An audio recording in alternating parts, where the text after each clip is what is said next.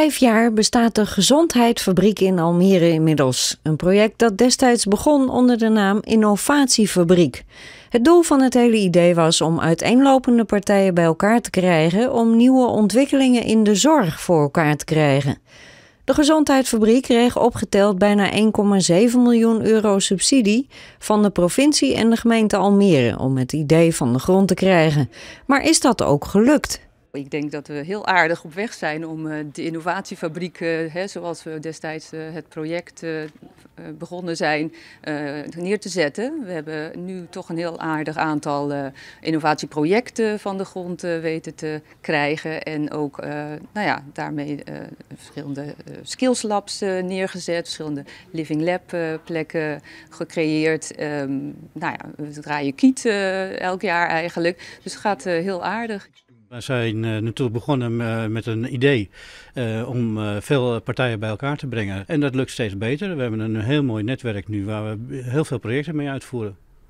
Ja, en gaat dat makkelijk om projecten binnen te halen? Als in zijn partijen genegen om met u samen te werken? Nou, dat is in het begin, als we ons nog niet kennen, altijd een lastige. Omdat eh, bedrijven altijd hun eigen kennis natuurlijk bij hunzelf willen houden. En het is natuurlijk niet zo eenvoudig om zomaar je eigen ontwikkeling eh, te delen met anderen. Als je niet zeker weet dat je daar zelf ook beter van wordt uiteindelijk. Ja, en dat, dat delen, dat vindt u echt heel belangrijk. Want sterker nog, uh, als iemand niet wil delen, dan gaat u er niet mee in zee.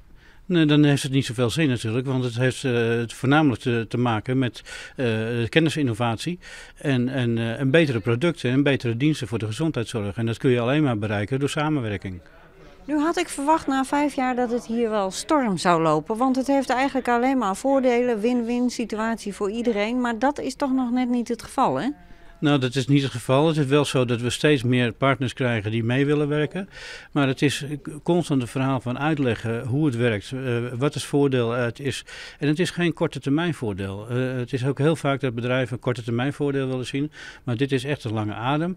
Uiteindelijk wordt er iedereen er beter van. En dat heeft uh, veel overtuigingskracht nodig. Dus ik denk dat we daar nog wel even mee bezig zijn. In het gebouw van de Gezondheidsfabriek is ruimte voor het ontwikkelen en testen van ideeën. Verschillende projecten zijn in de afgelopen vijf jaar van de grond gekomen, maar er is nog niets dat daadwerkelijk op grote schaal in de praktijk wordt gebruikt. Ik denk dat je daar toch uh, een bepaalde periode voor nodig hebt. Hè. Ik bedoel, je gauw twee jaar verder voordat je echt één project uh, helemaal door die hoepel van hè, uh, scouten, partners betrekken, fondsen werven en aan de slag gaan hebt gehaald. Dus voordat je dan daadwerkelijk nieuwe, nieuwe werkplekken en, en nieuwe producten op de markt introduceert, dan ben je nog niet, dat lukt niet in die vijf jaar bij wijze van spreken. Talentontwikkeling is een belangrijk onderdeel van de Gezondheidsfabriek. Er wordt veel samengewerkt met universiteiten en hogescholen, waaronder Windesheim. Vakezel is derdejaars IT-student en hij legt uit wat hij doet bij de Gezondheidsfabriek. Het gaat vooral op het, eigenlijk het, ja, het optimaliseren, het verbeteren van de IT. Dus, uh, en dan is het eigenlijk het belangrijkste, ja, we analyseren, we krijgen heel veel informatie binnen.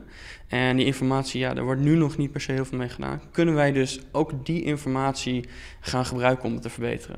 En dan gaat het dus vooral om het verbeteren van al de hulpmiddelen die er zijn. Ja, dus het is niet zo dat jullie zelf uitvindingen doen, dat, uh, dat je met iets compleet nieuws komt. Nee, we komen niet aan met uh, een skateboard waarmee de zorgmedewerkers doorheen gaan. Maar we kunnen wel aankomen met bijvoorbeeld patronen van... ja, uh, je moet uh, zorgmedewerkers op deze manier laten lopen... waardoor ze sneller alarmen kunnen afhandelen. Bij alles wat wordt verbeterd of nieuw bedacht... wordt duidelijk voor ogen gehouden voor wie het uiteindelijk is. Dit is bijvoorbeeld ons project Freewheels, waarin we een zelfrijdende rolstoel aan het ontwikkelen zijn. Uh, met name ook studenten van Windesheim worden daarbij betrokken. Nou, je moet je voorstellen, we kennen een aantal mensen uh, die dan ook proefkonijn zijn, om het zo maar te zeggen. Iemand die 30 jaar is en nog nooit zelf uh, heeft kunnen bepalen of je een meter links of rechts wilde gaan. En als het dus lukt, en we zijn er heel ver mee al, dan betekent dus dat hij voor het eerst in zijn leven zelf kan bepalen of hij nou wel naar de keuken gaat of niet naar de keuken gaat. dus dat dat, dat drijft ons om, de, om door te gaan op deze moeizame weg waarin je mensen altijd bij elkaar moet zien te krijgen om samen te ontwikkelen.